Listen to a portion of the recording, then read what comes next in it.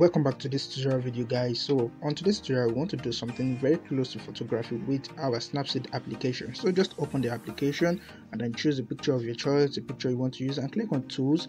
Then you say lens blur all right so that's the second to the last row. All right so now uh, let's see the transition. Uh, let's see the blur strength. All right so you can um, navigate through the blur strength the transition uh, all right so let's say you use your two hand to adjust. Is that okay? If you use just one hand then it's going to move the wheel around. Do you see it now? So just put it on the spot and then you can use your two fingers to expand. So let's see the blur rate. Let's increase it. Um, let's see.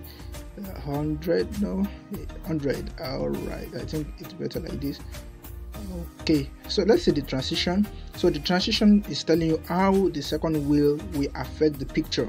Is that okay? So let's put it on 39 and then let's adjust. Um let's see the transition again. Okay um let's leave it here and just let's resize it to the size of the head. Can you see it like this? So you bend it with your two fingers and then you enlarge it.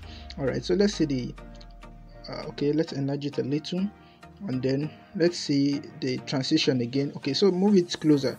Yes. All right i think it's good like this.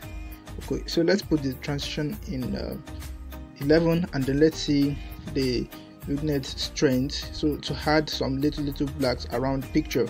All right and then you can put some effect style effects so that where it's blurred style some kind of style will be showing there. All right so the picture is not looking good. Let's balance it. So go to details and then your structure reduce it uh, to your satisfaction. You know we are working on a different picture here. So your sharpening likewise in, increase it. Okay so click on the check mark.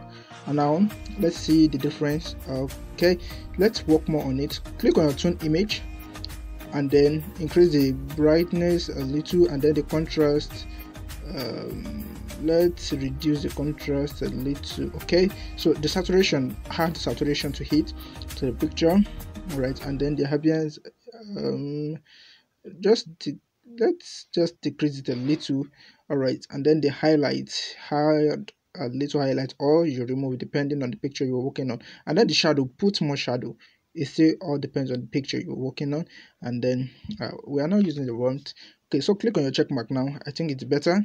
So you can go on and save your picture to a gallery. All right guys so if this tutorial have been interesting to you or have been useful to you just do well to subscribe to this youtube channel. I am coming with another wonderful tutorial videos for you guys. Thank you for watching this video